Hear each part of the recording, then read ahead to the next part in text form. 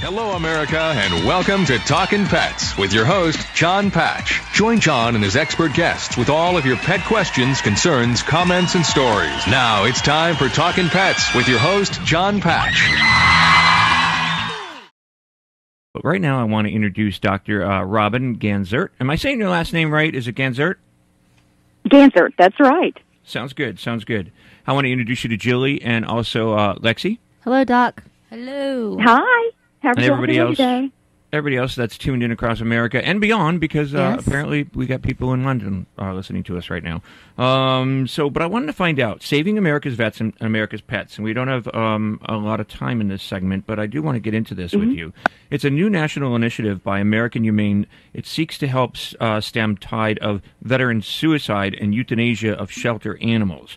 Now, you've got a graduating class of these trained animals, but before we get into that, how old is American Humane, the organization? Well, Ameri- American Humane is this country's very first national humane organization, founded way back in 1877.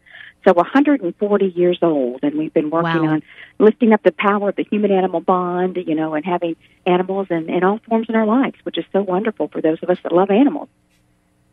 And the one thing that I thought was interesting when I was reading up on um, your on, on, on actually the PR here on saving America's vets and America uh, America's pets was that you make a statement in here that every day twenty veteran uh, t- twenty veterans are struggling with the um, invisible wounds of war that take their lives. And also, 670,000 dogs are euthanized in the U.S. shelters each year.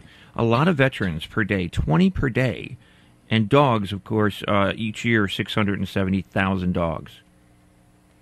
That's right. It's a crisis on both ends of the leash. And so what we realized uh, that there was this epidemic, an epidemic of 20 war heroes coming back from, you know, the fight on terror and from all parts of the world. 20 of them committing suicide every day. We knew we had to do something. And then we've recognized for generations that we've been euthanizing too many healthy adoptable pets. So how could we build a bridge between these two big moral epidemics that face our country today? And we decided the best way to do it was to lift up the human animal bond, develop the first ever national training standard for service dogs to apply to wounded warriors, and then make sure that we bring that out to America. And we're so thrilled that this weekend is the first graduating class under these new national service dog training Awesome. standards Awesome. uh, will be unveiled here on Long Island. That's awesome. That's That is great. great. What's the waiting list? I mean, for it, it, basically, a lot of these veterans never see a dog, or their waiting lists are years on years. I mean, how does it? How does American Humane deal with like finding which veterans or which people are, are most needy for these dogs? well, you know, the waiting list is 18 to 24 months long. So if there's a veteran out there and he wants or she wants a service dog, they have to wait almost two years. And when I think about the number of suicides per day, I'm just wondering how can we speed this up? And so what we decided to do over a year ago was to apply a uh, just a, a wonderful a wonderful case to this and say how can we bring human medical professionals together, those animal welfare professionals, dog trainers, ethicists, put them all in a room together and say, let's design the best program around this. And that's, again, the product of that is what we're unveiling this weekend in the first ever graduating class. Because for us, two years is too long to wait, especially when we're killing so many dogs in Right. shelters every single year. right. Now, you also have some uh, celebrities involved. Uh, Naomi Judd is involved with uh, with the organization, and the NHL star Matt Martin, uh, former PepsiCo uh, Restaurants International CEO Tim Lane, Hallmark Channel's president and CEO Bill Abbott, and New York City socialite Jean um, Shafiroff. Shaparov. Um, Shaparov, yes.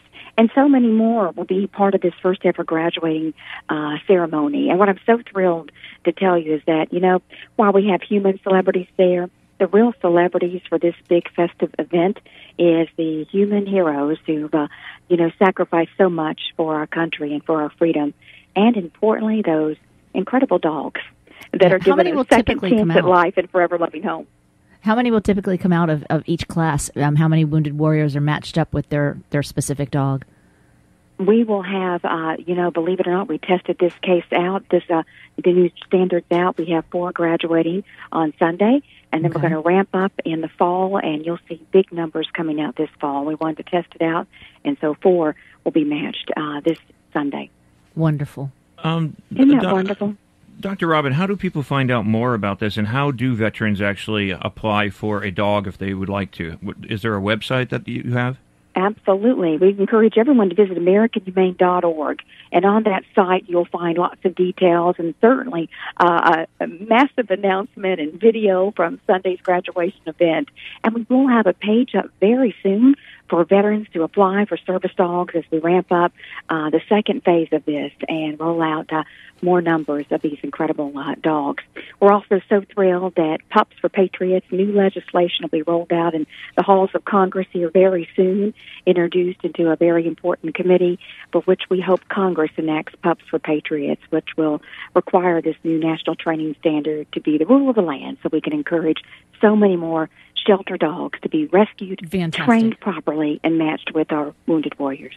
And that's AmericanHumane.org is the website if you want to check into it. I know it's a short segment, uh, Dr. Robin Ganzert, President and CEO of American Humane, but thanks so much for uh, calling in and, and giving us this information. And on our website, talkingpets.com, we, we post a lot of uh, press releases and stuff, so I hope you'll keep me on the list, and we'll post the press releases so people can find out more information as well.